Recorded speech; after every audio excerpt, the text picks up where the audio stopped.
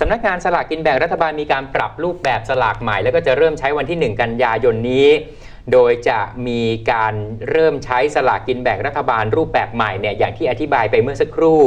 คือจากเดิม 1 ใบจะมี 2 ฉบับคู่ ฉบับละ 40 บาท หรือว่าก็คู่ละ 80 แต่ผมก็ไม่เคยเห็นใครที่ซื้อใบเดียวนะครับ ก็ต้องซื้อคู่กันอยู่แล้ว 80 บาท เขาก็เลยปรับใหม่นะฮะ เป็น 1 ใบอาขนาดก็จะดูเล็กลงพกพาง่ายกว่าเดิมนะฮะ แล้วก็ขายราคา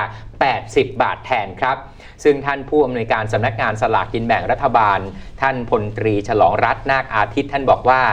ในสลากรูปแบบใหม่นี้เนี่ยนะฮะ นอกจากจะมีการปรับที่เป็นคู่สลากมาเป็นใบเดียวแล้วก็ขาย 80 บาทแล้วเนี่ย จะเน้นให้ปลอมแปลงยากขึ้นด้วยฮะอืมขนาดขนาดของสลากจะหนาขึ้นกว่าเดิม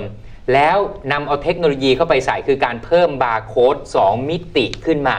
ป้องกันการปลอมแปลงท่านผู้ชมต้องทันสมัยนิดหนึ่งนะครับ ท่านสามารถไปโหลดแอปพลิเคชันเพื่อตรวจสอบ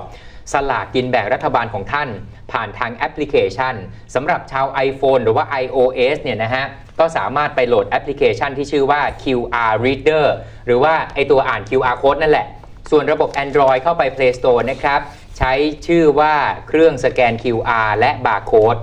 พอสแกนในสลากแบบใหม่ปุ๊บเนี่ยนะท่านผู้ชม ข้อมูลขึ้นเลยฮะจะมีการระบุข้อมูลปี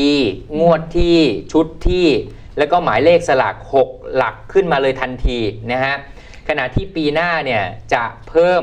ให้สามารถตรวจรางวัลผ่านแอปพลิเคชันได้ด้วยก็จะสะดวกสบายมากยิ่งขึ้นแล้ว และแม้ว่าร่างกฎหมายสลากฉบับใหม่จะเปิดช่องให้ออกผลิตภัณฑ์สลากใหม่ได้ แต่ทางสำนักงานสลากก็ยังไม่มีแนวคิดที่จะดำเนินการนะครับ เพียงแต่จะศึกษาไว้ก่อน โดยยึดหลักให้เกิดประโยชน์ต่อประชาชน ให้สังคมยอมรับ แล้วก็ไม่กระทบกับผู้ค้ารายเดิมด้วย